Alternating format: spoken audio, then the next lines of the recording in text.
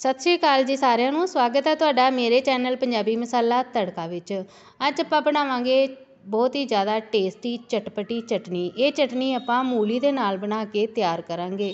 ਬਹੁਤ ਹੀ ਜ਼ਿਆਦਾ fresh fresh ਤਾਜ਼ੀਆਂ ਤਾਜ਼ੀਆਂ ਮੂਲੀਆਂ ਜਿਹੜੀਆਂ ਮਾਰਕੀਟ ਵਿੱਚ ਆ ਰਹੀਆਂ। ਘਰਾਂ ਦੇ ਵਿੱਚ ਵੀ ਕਈ ਲੋਕਾਂ ਨੇ ਉਗਾਈਆਂ ਹੋਈਆਂ। ਜਿਹੜੀ ਘਰ ਵਿੱਚ ਉਗਾਈ ਹੋਈ ਮੂਲੀ ਹੈ, ਉਹਦੀ ਚਟਨੀ ਇਹ ਬਹੁਤ ਹੀ ਜ਼ਿਆਦਾ ਟੇਸਟੀ ਬਣ ਕੇ ਤਿਆਰ ਹੋਏਗੀ। ਅਤੇ ਵੀਡੀਓ ਨੂੰ ਤੁਸੀਂ ਲਾਸਟ ਤੱਕ ਜ਼ਰੂਰ ਦੇਖਿਓ। ਮੈਂ ਰਿਕੁਐਸਟ ਕਰਨੀ ਆ, ਜੇਕਰ ਪਹਿਲੀ ਵਾਰ ਮੇਰੇ ਚੈਨਲ ਤੇ ਵਿਜ਼ਿਟ ਕਰ ਰਹੇ ਹੋ ਪਲੀਜ਼ ਮੇਰੇ ਚੈਨਲ ਪੰਜਾਬੀ ਮਸਾਲਾ ਤੜਕਾ ਨੂੰ ਜ਼ਰੂਰ ਸਬਸਕ੍ਰਾਈਬ ਕਰਿਓ। ਅਤੇ ਆਓ ਚਟਨੀ ਬਣਾਉਣਾ ਸ਼ੁਰੂ ਕਰਦੇ ਹਾਂ। ਚਟਨੀ ਬਣਾਉਣ ਦੇ ਲਈ ਇੱਕ ਮੂਲੀ ਲਈ ਹੈ। ਇਹਨੂੰ ਮੈਂ ਚੰਗੀ ਤਰ੍ਹਾਂ ਦੇ ਨਾਲ ਧੋ ਕੇ ਛਿੱਲ ਲਿਆ ਤੇ ਦੋ ਟੁਕੜਿਆਂ ਵਿੱਚ ਕਰ ਲਿਆ, ਕਿਉਂਕਿ ਮੂਲੀ ਜਿਹੜੀ ਹੈ ਬਹੁਤ ਜ਼ਿਆਦਾ ਲੰਬੀ ਸੀ। ਮੂਲੀ ਤੁਸੀਂ ਟੇਸਟ ਕਰਕੇ ਲੈਣੀ ਹੈ ਕਿ ਮੂਲੀ ਜਿਹੜੀ ਹੈ ਇਹ ਮਿੱਠੀ ਹੋਏ। ਹੁਣ ਇੱਥੇ ਮੈਂ ਦੋ ਪਿਆਜ਼ ਲਏ ਛੋਟੇ ਛੋਟੇ ਇਹਨਾਂ ਨੂੰ ਛਿੱਲ ਲਿਆ। ਇੱਕ ਅਦਰਕ ਦਾ ਟੁਕੜਾ 6-7 ਕਲੀਆਂ ਲਸਣ ਦੀਆਂ, ਦੋ ਹਰੀਆਂ ਮਿਰਚਾਂ, ਇੱਕ ਵੱਡੇ ਸਾਈਜ਼ ਦਾ ਟਮਾਟਰ ਤੇ ਨਾਲ ਇੱਥੇ ਥੋੜਾ ਜਿਹਾ ਮੈਂ ਹਰਾ ਧਨੀਆ ਲਿਆ ਹੈ ਹੁਣ ਇਹ ਸਾਰੀਆਂ ਚੀਜ਼ਾਂ ਆਪਾਂ ਕਟਿੰਗ ਕਰ ਲੈਣੀਆਂ। ਪਤਲੀ ਪਤਲੀ ਸਲਾਈਸ ਦੇ ਵਿੱਚ ਇਹਨਾਂ ਨੂੰ ਆਪਾਂ ਕਟਾ ਕਟਿੰਗ ਕਰਨਾ ਹੈ ਪਤਲਾ ਪਤਲਾ ਕੱਟ ਕਰਨਾ ਹੈ ਤਾਂ ਕਿ ਇਹ ਜਲਦੀ ਪੱਕ ਜਾਣ, ਜ਼ਿਆਦਾ ਟਾਈਮ ਨਾ ਲੈਣ ਪੱਕਣ ਦੇ ਵਿੱਚ। ਤੇ ਸਾਰੀਆਂ ਚੀਜ਼ਾਂ ਪਹਿਲੇ ਇਹਨਾਂ ਕੱਟ ਕਰ ਲੈਣੇ ਆ। ਮੂਲੀ ਜਿਹੜੀ ਹੈ ਮਿੱਠੀ ਹੋਏਗੀ ਅਤੇ ਚਟਨੀ ਬਹੁਤ ਵਧੀਆ ਬਣੇਗੀ, ਜੇਕਰ ਹਲਕੀ ਜਿਹੀ ਕੌੜੀ ਹੋਏਗੀ ਮੂਲੀ ਤੇ ਚਟਨੀ ਜਿਹੜੀ ਹੈ ਉਹਦਾ ਟੇਸਟ ਨਹੀਂ ਆਏਗਾ। ਵਧੀਆ, ਇਸ ਕਾਰਨ ਮੂਲੀ ਤੁਸੀਂ ਟੇਸਟ ਕਰਕੇ ਫਿਰ ਯੂਜ਼ ਕਰਨੀ ਹੈ। ਅਤੇ ਸਾਰੀਆਂ ਚੀਜ਼ਾਂ ਕੱਟ ਕੇ ਆਪਾਂ ਪਹਿਲੇ ਤਿਆਰ ਕਰ ਲੈਂਦੇ ਹਾਂ। ਸਾਰੀਆਂ ਚੀਜ਼ਾਂ ਮੈਂ ਕੱਟ ਕੇ ਤਿਆਰ ਕਰ ਲਈਆਂ ਤੇ ਹੁਣ ਚਲਦੇ ਹਾਂ ਗੈਸ ਵੱਲ।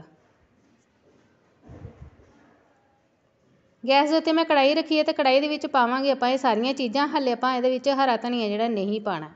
ਇਹ ਸਾਰੀਆਂ ਚੀਜ਼ਾਂ ਪਾ ਕੇ ਲੋਅ ਫਲੇਮ ਦੇ ਉੱਤੇ ਇਹਨਾਂ ਨੂੰ ਢੱਕ ਕੇ ਆਪਾਂ ਪਕਾਉਣਾ ਆ 5 ਤੋਂ 7 ਮਿੰਟ ਲਈ। ਤੁਸੀਂ ਚਾਹੋ ਤੇ ਇਹਦੇ ਲਾਗੇ ਖੜੇ ਰਹਿ ਕੇ ਲੋਅ ਫਲੇਮ ਦੇ ਉੱਤੇ ਇਹਨੂੰ ਹਿਲਾਉਂਦੇ ਡੁਲਾਉਂਦੇ ਪਕਾ ਸਕਦੇ ਹੋ। ਇਹਦੇ ਵਿੱਚ ਨਮਕ ਜਾਂ ਪਾਣੀ ਕੁਝ ਵੀ ਨਹੀਂ ਪਾਣਾ ਇਹ ਚਟਨੀ ਦੀ ਖਾਸ ਗੱਲ ਇਹ ਹੈ ਕਿ ਚਟਨੀ ਨੂੰ ਤੁਸੀਂ ਸਟੋਰ ਕਰਕੇ 1 ਮਹੀਨੇ ਲਈ ਫ੍ਰਿਜ ਵਿੱਚ ਰੱਖ ਸਕਦੇ ਹੋ। 5-7 ਮਿੰਟ ਇਹਨਾਂ ਨੂੰ ਮੈਂ ਪਕਾ ਲਿਆ। ਸਾਰੀਆਂ ਚੀਜ਼ਾਂ ਜਿਹੜੀਆਂ ਪੱਕ ਚੁੱਕੀਆਂ ਇੱਕਦਮ ਸੌਫਟ ਹੋ ਗਈਆਂ। ਤੁਸੀਂ ਦੇਖ ਸਕਦੇ ਹੋ ਸਾਰੀਆਂ ਸਬਜ਼ੀਆਂ ਜਿਹੜੀਆਂ ਸੌਫਟ ਹੋ ਗਈਆਂ। ਪੱਕ ਚੁੱਕੀਆਂ ਚੰਗੀ ਤਰ੍ਹਾਂ ਦੇ ਨਾਲ। ਇਸ ਤਰੀਕੇ ਦੇ ਨਾਲ ਕੀ ਹੁੰਦਾ ਕਿ ਜਿਹੜਾ ਕੱਚਾਪਣ, ਜਿਹੜਾ ਕੱਚਾ ਟੇਸਟ ਆਉਂਦਾ ਚਟਨੀ ਦੇ ਵਿੱਚ, ਉਹ ਨਹੀਂ ਆਏਗਾ। ਹੁਣ ਇਹਨੂੰ ਆਪਾਂ ਥੱਲੇ ਲਾ ਲਵਾਂਗੇ ਗੈਸ ਬੰਦ ਕਰਕੇ ਤੇ ਹਲਕਾ ਜਿਹਾ ਠੰਡਾ ਕਰ ਲਵਾਂਗੇ, ਕਿਉਂਕਿ ਇਹ ਸਾਰੀਆਂ ਚੀਜ਼ਾਂ ਜਿਹੜੀਆਂ ਇਹਨਾਂ ਨੂੰ ਆਪਾਂ ਪੀਸਣਾ ਇਹਨੂੰ ਮੈਂ ਥੱਲੇ ਲਾ ਲਿਆ ਤੇ ਠੰਡਾ ਕਰ ਲਿਆ। ਠੰਡਾ ਕਰਨ ਤੋਂ ਬਾਅਦ ਹੁਣ ਆਪਾਂ ਇਹ ਸਾਰੀਆਂ ਚੀਜ਼ਾਂ ਪਾਵਾਂਗੇ ਗ੍ਰਾਈਂਡਰ ਜਾਰ ਦੇ ਵਿੱਚ। ਗ੍ਰਾਈਂਡਰ ਜਾਰ ਦੇ ਵਿੱਚ ਪਾ ਕੇ ਨਾਲ ਇਹਦੇ ਪਾ ਦੇਵਾਂਗੇ ਹਰਾ ਧਨੀਆ। ਅਤੇ ਇਹਦੇ ਵਿੱਚ ਪਾਣੀ ਵਗੈਰਾ ਕੁਛ ਨਹੀਂ ਪਾਉਣਾ ਇਹਨੂੰ ਇੱਦਾਂ ਹੀ ਪੀਸਣਾ, ਜੇਕਰ ਪਾਣੀ ਪਾਵਾਂਗੇ ਤਾਂ ਫਿਰ ਇਹਨੂੰ ਜ਼ਿਆਦਾ ਪਕਾਉਣਾ ਪਏਗਾ। ਇਹ ਸਾਰੀਆਂ ਚੀਜ਼ਾਂ ਆਪਾਂ ਪੀਸ ਕੇ ਤਿਆਰ ਕਰ ਲਵਾਂਗੇ। ਜੇਕਰ ਇਹ ਚਟਨੀ ਤੁਸੀਂ ਤੜਕਾ ਲਗਾਏ ਬਿਨਾ ਕੱਚੀ ਚਟਨੀ ਖਾਣਾ ਚਾਹੁੰਦੇ ਹੋ, ਤੇ ਇਸ ਟਾਈਮ ਤੇ ਤੁਸੀਂ ਇਹਦੇ ਵਿੱਚ ਪੁਦੀਨਾ, ਨਿੰਬੂ ਦਾ ਰਸ ਤੇ ਨਮਕ ਪਾ ਲੈਣਾ ਹੈ। ਪਰ ਇਹ ਚਟਨੀ ਨੂੰ ਮੈਂ ਤੜਕਾ ਲਗਾਵਾਂਗੀ, ਇਸ ਕਾਰਨ ਇਹਨੂੰ ਮੈਂ ਐਦਾਂ ਹੀ ਪੀਸ ਰਹੀ ਹਾਂ ਪਹਿਲੇ।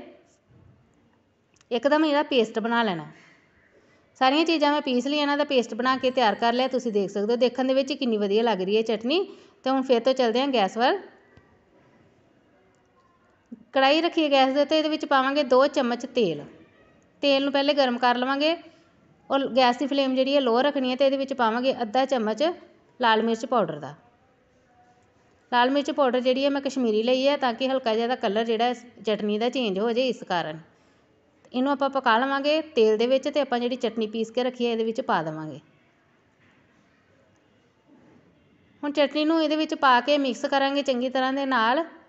ਇੱਕ ਉਬਾਲਾ ਜਦੋਂ ਤੱਕ ਨਹੀਂ ਆ ਜਾਂਦਾ ਉਦੋਂ ਤੱਕ ਇਹਨੂੰ ਪਕਾਵਾਂਗੇ। ਔਰ ਹੁਣ ਇਹਨੂੰ ਆਪਾਂ ਲਗਾਤਾਰ ਚਲਾਉਂਦੇ ਰਹਿਣਾ, ਇਹਨੂੰ ਛੱਡਣਾ ਨਹੀਂ ਨਹੀਂ ਤਾਂ ਫਿਰ ਇਹ ਕੜਾਈ ਦੇ ਨਾਲ ਚਿਪਕ ਜੇਗੀ। ਮੈਂ ਸਿਰਫ ਹਲੇ ਦੇ ਵਿੱਚ ਲਾਲ ਮਿਰਚ ਪਾਈ ਹੈ, ਹੋਰ ਕੋਈ ਵੀ ਇਹਦੇ ਵਿੱਚ ਨਮਕ ਵਗੈਰਾ ਕੁਝ ਨਹੀਂ ਪਾਇਆ। ਸਾਰੀਆਂ ਚੀਜ਼ਾਂ ਨੂੰ ਚੰਗੀ ਤਰ੍ਹਾਂ ਦੇ ਨਾਲ ਮਿਕਸ ਕਰ ਲਿਆ, ਇਹਨੂੰ ਉਬਾਲ ਆਉਣਾ ਸ਼ੁਰੂ ਹੋ ਗਿਆ ਅਤੇ ਹੁਣ ਇਹਦੇ ਵਿੱਚ ਨਮਕ ਪਾਵਾਂਗੇ। ਨਮਕ ਆਪਾਂ ਥੋੜ੍ਹਾ ਜਿਹਾ ਘੱਟ ਪਾਉਣਾ ਕਿਉਂਕਿ ਚਟਨੀ ਜਿਹੜੀ ਹਲੇ ਹੋਰ ਪੱਕੇਗੀ ਅਤੇ ਫਿਰ ਨਮਕ ਜਿਹੜਾ ਜ਼ਿਆਦਾ ਹੋ ਜਾਏਗਾ, ਇਸ ਕਾਰਨ ਨਮਕ ਥੋੜ੍ਹਾ ਘੱਟ ਹੀ ਪਾਉਣਾ ਤੁਸੀਂ ਚਾਹੋ ਤਾਂ ਬਾਅਦ ਵਿੱਚ ਵੀ ਪਾ ਸਕਦੇ ਹੋ, ਪਰ ਮੈਂ ਇਹਦੇ ਨਾਲ ਹੀ ਨਮਕ ਜਿਹੜਾ ਇਹਦੇ ਵਿੱਚ ਪਾ ਦਿੱਤਾ ਹੁਣ ਇਹਨੂੰ ਆਪਾਂ ਪਕਾਵਾਂਗੇ, ਜਦੋਂ ਤੱਕ ਇਹ ਕੜਾਈ ਨਹੀਂ ਛੱਡ ਦਿੰਦੀ ਉਦੋਂ ਤੱਕ। ਚਟਨੀ ਸਾਡੀ ਬਣ ਕੇ ਤਿਆਰ ਹੈ, ਇਹਨੇ ਕੜਾਈ ਛੱਡਣੀ ਸ਼ੁਰੂ ਕਰ ਦਿੱਤੀ ਇਹਦੇ ਵਿੱਚ ਪਾਣੀ ਬਿਲਕੁਲ ਵੀ ਨਹੀਂ ਹੈ ਹੁਣ ਤੇ ਹੁਣ ਆਪਾਂ ਗੈਸ ਬੰਦ ਕਰਕੇ ਚਟਨੀ ਥੱਲੇ ਲਾ ਲਵਾਂਗੇ। ਅਤੇ ਹਲਕੀ ਜਿਹੀ ਠੰਡੀ ਕਰ ਲਵਾਂਗੇ, ਜ਼ਿਆਦਾ ਠੰਡੀ ਨਹੀਂ ਕਰਨੀ ਹੈ, ਸਿਰਫ ਹਲਕੀ ਜਿਹੀ ਠੰਡੀ ਕਰਨੀ ਹੈ। ਇਹਨੂੰ ਥੱਲੇ ਲਾ ਕੇ ਮੈਂ ਹਲਕਾ ਜਿਹਾ ਠੰਡਾ ਕਰ ਲਿਆ ਇਹਦੇ ਵਿੱਚ ਹੱਲੇ ਵੀ ਬਹੁਤ ਜ਼ਿਆਦਾ ਧੂੰਆਂ ਨਿਕਲ ਰਿਹਾ, ਪਰ ਇਹ ਹਲਕੀ ਜਿਹੀ ਠੰਡੀ ਹੋ ਗਈ ਹੈ ਤੇ ਹੁਣ ਆਪਾਂ ਇਹਦੇ ਵਿੱਚ ਪਾਵਾਂਗੇ ਨਿੰਬੂ ਦਾ ਰਸ। ਤੁਸੀਂ ਚਾਹੋ ਤੇ ਇਹਦੇ ਵਿੱਚ ਵਿਨੇਗਰ ਵੀ ਪਾ ਸਕਦੇ ਹੋ, ਨਿੰਬੂ ਦੇ ਰਸ ਦਾ ਟੇਸਟ ਇਹਦੇ ਵਿੱਚ ਬਹੁਤ ਵਧੀਆ ਆਉਂਦਾ, ਇਸ ਕਾਰਨ ਮੈਂ ਨਿੰਬੂ ਦਾ ਰਸ ਪਾਇਆ। ਹੁਣ ਇਹ ਮਿਕਸ ਕਰ ਦੇਵਾਂਗੇ ਨਿੰਬੂ ਦਾ ਰਸ, ਮੈਂ ਇੱਕ ਚਮਚ ਪਾਇਆ, ਜੇਕਰ ਤੁਸੀਂ ਜ਼ਿਆਦਾ ਖੱਟਾ ਪਸੰਦ ਕਰਦੇ ਹੋ ਤਾਂ ਫਿਰ ਤੁਸੀਂ ਦੋ ਚਮਚ ਵੀ ਪਾ ਸਕਦੇ ਹੋ। ਮਿਕਸ ਕਰਕੇ ਇਹਨੂੰ ਆਪਾਂ ਇੱਕ ਕੌਲੀ ਦੇ ਵਿੱਚ ਕੱਢ ਲਵਾਂਗੇ, ਕਿਉਂਕਿ ਇਹਦੇ ਉੱਤੇ ਆਪਾਂ ਇੱਕ ਤੜਕਾ ਲਗਾਉਣਾ ਛੋਟਾ ਜਿਹਾ। ਇਹ ਪੂਰੀ ਤਰ੍ਹਾਂ ਦੇ ਨਾਲ ਤੜਕਾ ਜਿਹੜਾ ਆਪਸ਼ਨਲ ਹੈ, ਪਰ ਤੁਸੀਂ ਲਗਾਇਓ ਜ਼ਰੂਰ, ਬਹੁਤ ਹੀ ਟੇਸਟੀ ਚਟਨੀ ਲੱਗਦੀ ਹੈ ਤੜਕੇ ਦੇ ਨਾਲ।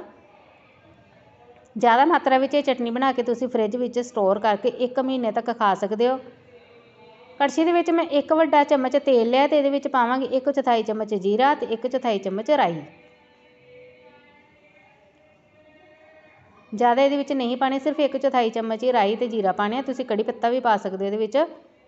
ਮੈਂ ਨਾਲ ਦੀ ਨਾਲ ਹੀ ਤੁਹਾਨੂੰ ਸਾਰੀਆਂ ਚੀਜ਼ਾਂ ਦੱਸ ਦਿੱਤੀਆਂ, ਕਿਹੜੀਆਂ ਚੀਜ਼ਾਂ ਤੁਸੀਂ ਇਹਦੇ ਵਿੱਚ ਪਾ ਸਕਦੇ ਹੋ ਅਤੇ ਕਿਹੜੀਆਂ ਚੀਜ਼ਾਂ ਨੂੰ ਤੁਸੀਂ ਸਕਿੱਪ ਕਰ ਸਕਦੇ ਹੋ।